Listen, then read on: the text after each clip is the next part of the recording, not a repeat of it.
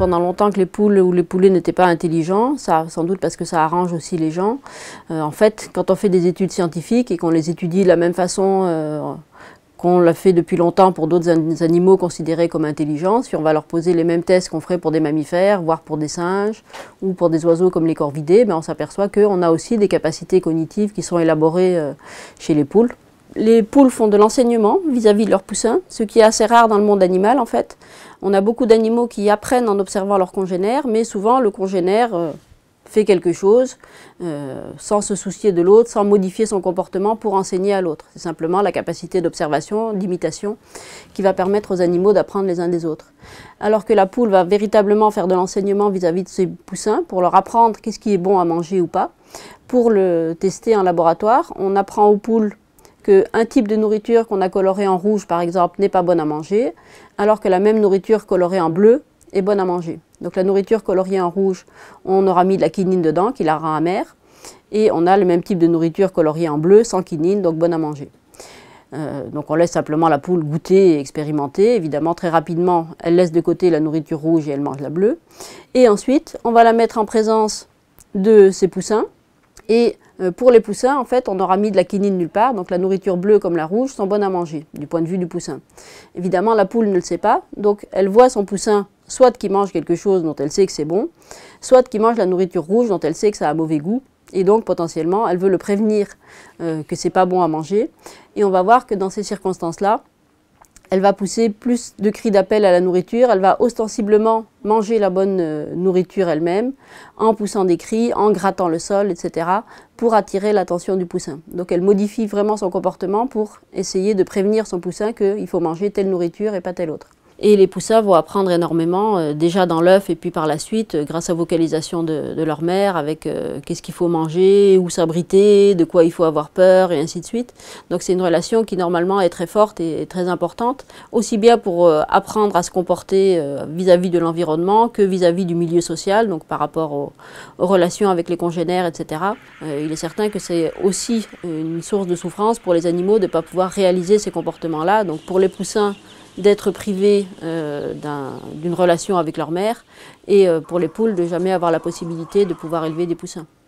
On a longtemps cru que les poules et les oiseaux en général étaient forcément moins intelligentes que les mammifères, notamment en regardant la structure de leur, de leur cerveau. Parce que dans le cerveau, chez les mammifères, c'est le néocortex qui est le siège de l'intelligence, des fonctions cognitives les plus élaborées, et le néocortex est beaucoup développé au cours de l'évolution chez les primates et en particulier chez l'humain. Donc quand on regardait le cerveau des oiseaux avec quasiment pas de néocortex, on se disait ben forcément ils ne peuvent pas être intelligents. Et puis en fait on a découvert que chez les oiseaux on a une autre zone du cerveau qu'on a d'abord appelée le striatum qui joue exactement le même rôle que le néocortex chez les mammifères et qui est capable en fait des mêmes fonctions et de capacités cognitives aussi élaborées.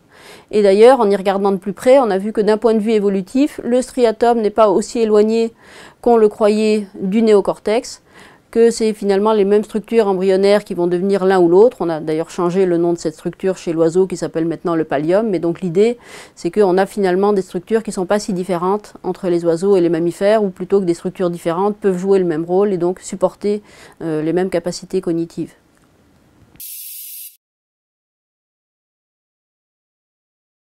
Donc on parle de communication référentielle quand les animaux sont capables pas seulement de, communiquer par rapport à leurs émotions, mais d'indiquer des choses précises en ce qui concerne des événements du monde extérieur. Et donc c'est le cas par exemple chez les coqs qui vont pousser des cris d'alarme pour prévenir les autres individus d'un danger. Non seulement ils poussent des cris d'alarme, mais ça dépend du type de danger. C'est-à-dire si c'est un prédateur terrestre euh, du type renard ou chien, il y a un type précis de cri. Et si c'est un prédateur aérien comme un rapace, ça sera un autre type de cri. Ils vont aussi pousser des cris plus longs si eux-mêmes sont à couvert. Donc s'ils ont moins de chances d'être vus par un rapace, par exemple, euh, ils peuvent se permettre de pousser des cris plus longs. Alors que s'ils n'ont pas de moyen de se coucher, ben, de se cacher, il faut aussi qu'ils évitent d'être vus par le, par le rapace. On a aussi trouvé donc des capacités d'empathie chez les, chez les poules. On les teste dans des circonstances où on leur envoie à elles ou à leurs poussins un petit jet d'air. Donc ça fait pas mal, mais c'est désagréable pour la poule ou pour le poussin. Et donc on constate que la poule n'apprécie pas de recevoir le jet d'air, donc elle a des comportements de vigilance, mais elle est encore plus stressée si c'est le poussin qui reçoit ça. Donc à ce moment-là, elle va réagir en poussant des cris d'appel, donc essayer d'appeler le, poussin vers elle. Elle va avoir une augmentation du rythme cardiaque, elle va avoir un état général d'agitation qui montre que même si elle n'a rien reçu, elle est en empathie avec euh, ce qu'a reçu son poussin, elle se met à sa place et elle, elle essaye donc de le protéger, elle s'agite, etc. Et on a pu vérifier que ce n'était pas directement le comportement du poussin, donc ce n'est pas juste le fait que le poussin pousse des cris de détresse, parce qu'on a aussi fait une expérience où euh, la poule apprend que dans certains environnements, donc de nouveau c'est une question de couleur d'environnement, dans un environnement d'une certaine couleur, il va y avoir des jets d'air, dans un environnement d'une autre couleur, il n'y a pas de danger, tout va bien.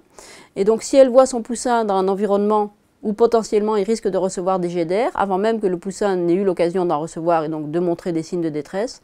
Là aussi, la poule va s'agiter, avoir une augmentation du rythme cardiaque, montrer des signes de stress qui montrent qu'elle est capable de se mettre à la place du poussin. Elle anticipe que le poussin va recevoir un jet d'air et que ça va être désagréable pour lui.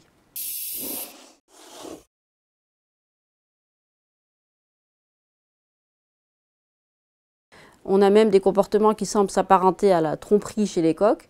Quand ils trouvent quelque chose qui ressemble à de la nourriture mais qui n'est pas comestible, par exemple des coquilles de noix, en temps normal, euh, ils ne vont pas pousser de cri, quand on les teste avec d'autres coqs ou même avec des poules familières. Et par contre, s'ils sont avec une poule non familière, là, ils peuvent être tentés d'établir le contact. Et euh, du coup, euh, on voit qu'ils vont pousser plus de cris, donc des cris comme si c'était de la nourriture. Alors bon, réflexion faite, c'est peut-être pas une très bonne façon d'établir le contact, de se montrer tout de suite comme étant un tricheur. On voit que les poules sont aussi capables de se rendre compte de ça. Après certains faux appels comme ça, elles ne viendront plus aux appels du coq. En ce qui concerne la douleur chez les oiseaux et chez les poulets plus particulièrement, eh on, a, évidemment des comportements qui sont assez évidents. On a souvent des problèmes de boiterie chez les poulets de chair parce qu'ils sont trop gros en fait, parce qu'à force d'être sélectionnés pour la chair, ils sont trop gros par rapport à ce que leurs pattes peuvent, porter. Donc ils ont mal aux pattes, euh, ça s'exprime par des comportements de boiterie. Et on peut voir que ces comportements de boiterie vont diminuer si euh, une poule est distraite par exemple. Donc si la poule est dans un environnement nouveau, si elle rencontre un congénère nouveau, si elle cherche un environnement pour pondre, elle va boiter moins, ce qui montre que pendant un moment, du fait qu'elle est distraite, elle pense moins à sa douleur et du coup elle la ressent moins. Et ça c'est intéressant parce que ça nous montre qu'il y a bien quelque chose de conscient dans la douleur, c'est pas juste qu'instinctivement elle boite, tout comme nous, elle a sa douleur et elle la ressent plus ou moins à certains moments. Et les poules et les poulets sont même capables de se soigner si on leur en donne la possibilité. Donc si on leur donne accès à euh, un aliment qui contient un analgésique, les individus qui boitent vont euh, préférer cet aliment par rapport à l'autre et vont effectivement pouvoir se soulager eux-mêmes grâce à ça. Alors on a tendance à faire une dichotomie entre euh, l'humain et les animaux, déjà comme s'il y avait d'un côté l'humain et de l'autre côté les animaux en oubliant que l'humain est un animal. Et dans cette dichotomie, on a tendance à dire que les animaux agissent par instinct alors que les humains auraient leur libre arbitre et ne seraient pas, eux, motivés par euh, des instincts divers et variés. Évidemment, euh, c'est à nuancer complètement, parce que d'abord, chez l'humain, évidemment, on a un rôle important des instincts. Euh, si j'ai tant de mal à me retenir d'aller ouvrir le frigo et prendre de la crème au chocolat, notamment quand je suis stressée, c'est parce que je suis prédisposée à ça. Et pour les animaux, on a aussi, bien sûr, des comportements qui sont prédéterminés génétiquement. Donc, les éthologues préfèrent maintenant utiliser ce terme-là plutôt que le terme d'instinct qui reste très vague et dans lequel on a mis un peu tout et n'importe quoi. Euh, par exemple, si on revient aux cris d'alarme dont on parlait tout à l'heure, ils sont euh, prédéterminés génétiquement, en tout cas chez les poules et les coqs, c'est-à-dire qu'ils vont spontanément émettre ces cris-là en présence de tels prédateurs, ils n'ont pas besoin d'avoir à les apprendre.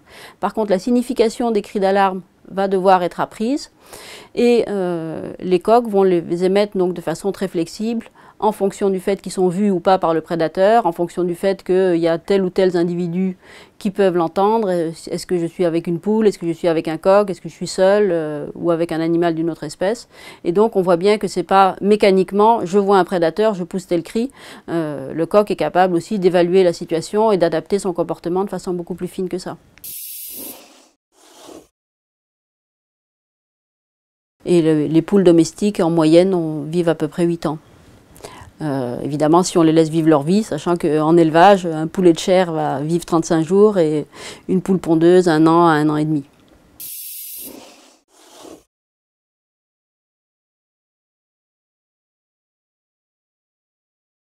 J'ai commencé mes recherches par des études chez les singes. J'ai fait une, une, thèse sur les capacités de catégorisation et d'abstraction chez les babouins.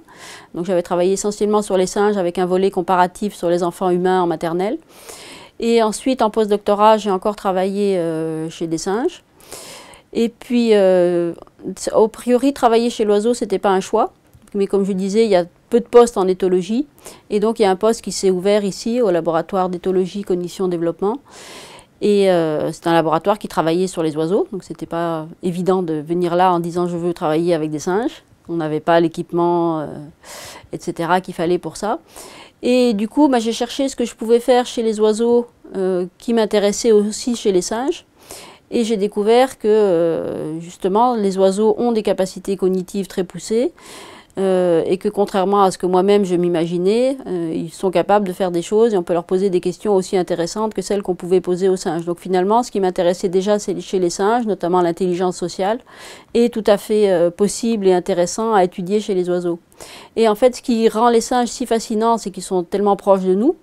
Mais ce qui rend les oiseaux fascinants aussi, c'est justement le fait qu'en étant phylogénétiquement extrêmement éloignés de nous, ils sont en même temps capables d'avoir des performances qui sont assez proches de celles qu'on va pouvoir trouver chez les primates. Les coqs ou les poules d'ailleurs connaissent bien leur position dans le groupe social, donc ils savent qui est dominant par rapport à, eux, qui est subordonné par rapport à eux.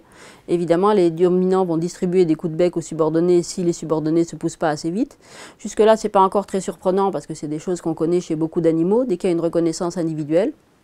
Mais ce qui est plus intéressant, c'est qu'ils sont aussi capables d'observer ce qui se passe entre deux autres individus. Et par exemple, s'il y a un individu étranger qui est mis en présence d'un individu dominant et que l'étranger bat le dominant, euh, l'observateur qui est subordonné par rapport au dominant va être capable d'utiliser une relation transitive, c'est-à-dire de se dire cet étranger est plus fort que mon dominant, qui lui-même est plus fort que moi, donc je n'ai aucune chance, il vaut mieux que je m'éloigne dès que l'étranger arrive. Alors que si c'est la condition inverse, donc s'il voit son dominant battre l'étranger, il va dans à peu près la moitié des cas essayer d'attaquer l'étranger parce qu'il sait qu'il a une chance raisonnable lui aussi d'être capable de le battre. C'est complètement euh, artificiel, donc souvent c'est des élevages où elles n'ont pas forcément la possibilité de, gratter le sol, en tout cas pas pour trouver leur nourriture puisque ça va être fourni dans des mangeoires.